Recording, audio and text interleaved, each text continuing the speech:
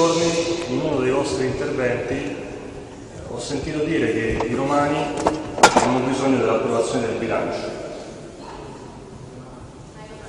Ebbene avete fallito perché vi siete ridotti a dicembre. Le elezioni sono finite il 10 giugno 2013. E per mesi questa giunta ha combinato poco o nulla si è parlato per mesi di pedonalizzazione dei fori, abbiamo visto, come ha detto anche il consigliere Quarzi, nei ripetuti interventi, che questa giunta ha prodotto con gli atti che vanno dal 303 al 369, atti di assunzione di staff per il sindaco, per il sindaco e per gli assessori, che costano circa 5 milioni di euro all'anno.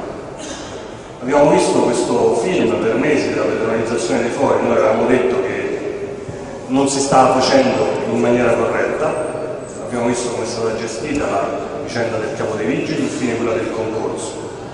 Vi siete ridotti tardivamente ad affrontare il tema del bilancio, superando un termine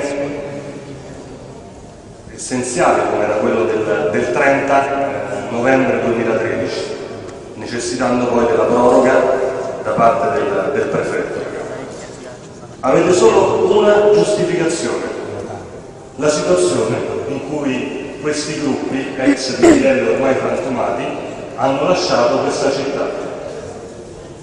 Una situazione devastante, oltre 800 milioni di euro, che loro ben conoscevano e che, se, e che si sono visti bene dall'affrontare, evitando di fare un bilancio previsionale nei termini di legge, quindi lasciando questa situazione a chi sarebbe poi venuto.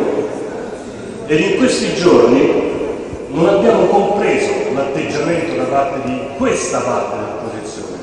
Fare decine di migliaia di emendamenti su un bilancio consuntivo che sostanzialmente certificava che si era speso più di quello che si poteva spendere, sostanzialmente che certificava il fallimento di questa precedente amministrazione che ha fatto opposizione contro se stessa. Pensiamo, pensiamo che ci sia soltanto un gruppo di opposizione che esce a testa alta da questa sessione di bilancio. Non abbiamo onorevoli su onorevole Rossi eh ho capito Presidente, quando, onorevole Rossi prego Rossi allora quando il consigliere Rossin ci fa onore del suo silenzio continuiamo. Ci siamo sempre stati da parlate Questo gruppo ha il 100% delle presenze in tutti e quattro i consiglieri, in tutti i consigli tenuti fino ad oggi. Eh, non abbiamo presentato decine di migliaia di emendamenti, non abbiamo fatto questo ostruzionismo piego, non abbiamo fatto le sceneggiate, le tarantelle che si sono viste nella prima giornata, al limite le abbiamo filmate. Quindi avanti, non abbiamo, non onorevole Rossi non ho compreso non è ma è molto L'onorevole Rossi, l'ho sentito con grande onorevole facciamo il presidente che mi ascolta da 20 giorni ha sentito tutto L'onorevole onorevole Rossi Rossi, diamo abbiamo i seguito grazie con grande interesse per dieci giorni, eh, in cui ci hanno detto come avrebbero potuto governare bene questa città, eh, solo che non si rendono conto che eh, questa amministrazione, l'amministrazione dell'ex sindaco Alemagno e dell'ex vice sindaco Berviso, ha gravemente fallito. Sono come l'imprenditore che non si rende conto e che rigetta il fallimento di cui è responsabile. Detto ciò, ripeto, abbiamo fatto un'opposizione responsabile, abbiamo fatto un numero limitato di emendamenti, perché non aveva alcun senso fare decine di migliaia di emendamenti su un bilancio che di fatto è un consultivo.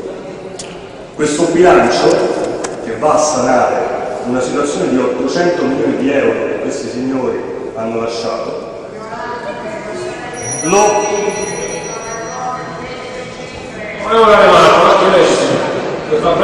Le cifre l'ex sindaco,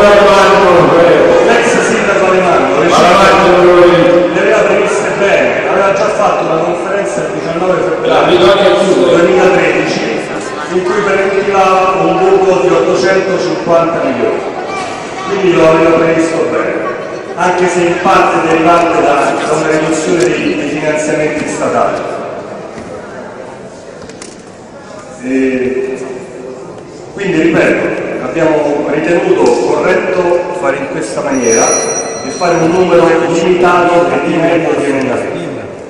Sottosegretario, quando i colleghi gentilmente dopo che hanno parlato di per dieci giorni fanno parlare anche noi, gli siamo, gli siamo grati. Quando si evita di dare schiaffi e calci in aula e ci fa parlare anche noi per 5 minuti, gli, gliene siamo grati.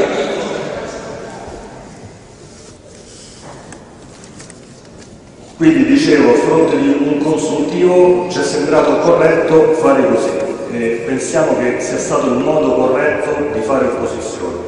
Questo bilancio che loro lasciano eh, noi non lo accettiamo. Vogliamo chiarire ai cittadini come si sta ponendo, eh, come si sta eh, risolvendo diciamo, questa situazione finanziaria disastrosa che è stata lasciata lo si fa riaprendo la gestione commissariale e di questo ve ne diamo atto che effettivamente il provvedimento del governo era tardivamente, il DR 126 del 31 ottobre 2013, che ha consentito questa manovra che facciamo con due modalità, con 115 milioni di euro di debiti precedenti al 2008 che andiamo a rimettere in gestione commissariale, che andate a rimettere in gestione commissariale, con 485 milioni di pagamenti già fatti che. Chiudo Presidente, con 100 milioni presi dalla Regione Lazio, con una lettera di impegni del Presidente Zingaretti, con tagli a servizi essenziali, con anticipazioni di dividendi, con equilibrismi finanziari di ogni genere. Questo è un bilancio di 6 miliardi che si regge sugli stuzzicadenti e che soprattutto andrà a gravare sui cittadini a cui allunghiamo tempi e importi Grazie. di questo mondo. Quindi questo, questo bilancio noi non lo voteremo, voteremo contrario. Grazie. Prego, onorevole Manno.